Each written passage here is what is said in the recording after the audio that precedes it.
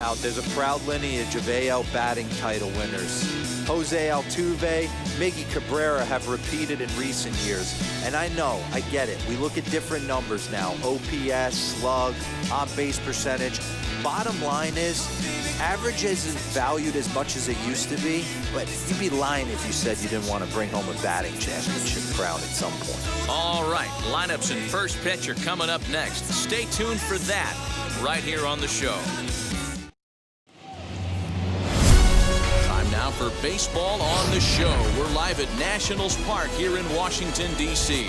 Opening day is here as we get the new season underway with a good matchup between the Boston Red Sox and the Washington Nationals. Everybody. It's finally here. Welcome to our special opening day edition of Baseball on the Show.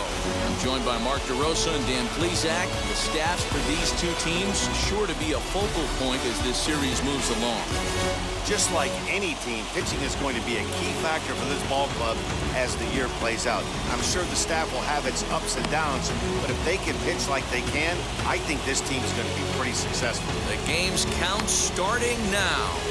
It's opening day. It's the show. And it's coming up next.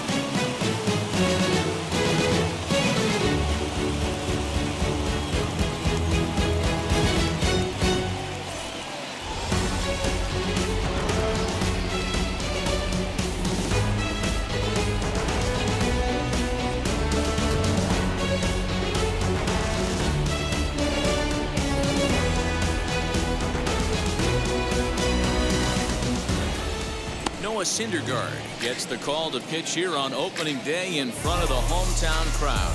What's your take on him, Dan? Hey, you think this guy's tough to hit?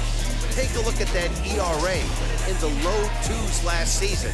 If he pitches like that again this year, he's going to be awfully tough. He's going to be fun to watch in this one. And stepping in, Nate Money. Off the and we are afternoon for ready for some daytime baseball. The first baseman, number 15. Ready to deliver. Here comes the first pitch. This is hit sharply to the left side.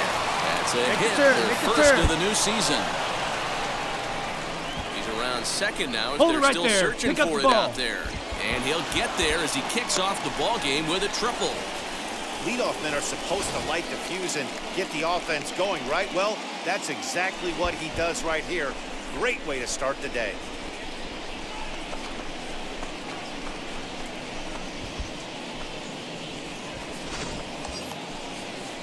So here's Yoan Moncada. Batting second,